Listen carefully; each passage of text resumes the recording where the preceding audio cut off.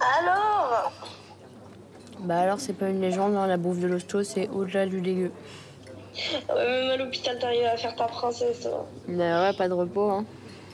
Et mourra Bah les médecins savent pas, là, euh, ils attendent de voir si la fièvre baisse, mais euh, là elle dort.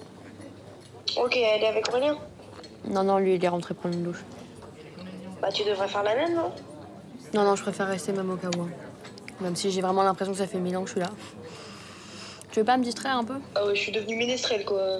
Non, mais allez, s'il te plaît, j'ai vraiment besoin de penser à autre chose, s'il te plaît. Ok, ok, mais c'est toi qui as demandé. Oh putain, t'as un truc à me raconter? Grave. en fait, euh, après l'hôpital, bah, euh, je peux rentrer chez moi. Mathéo Bah ouais, Mathéo, pareil, douane. Et vous avez.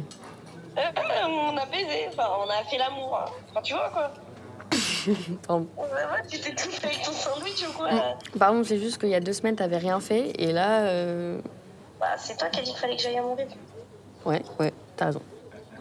Bah, j'avoue, il est chelou, mais c'est mon rythme. Et puis j'en avais vraiment envie. Ah, donc c'était bien. Bof. 6 sur 10. Ah, ouais, c'est pas ouf. Mais vas-y, en vrai, c'est la première fois, il y a le coup de main à prendre. Après, Vous êtes protégé au moins bah oui, on n'est pas débiles, hein. Pardon. T'inquiète. Hum, C'est pas grave, de toute façon, t'as raison. Hein. Aurélien et moi, on n'était pas trop calés niveau liquide pré-séminal. Hein. On n'a même pas pensé au MST. Je pensais vraiment pas que j'aurais pu tomber enceinte, mais euh, voilà, maintenant je suis là.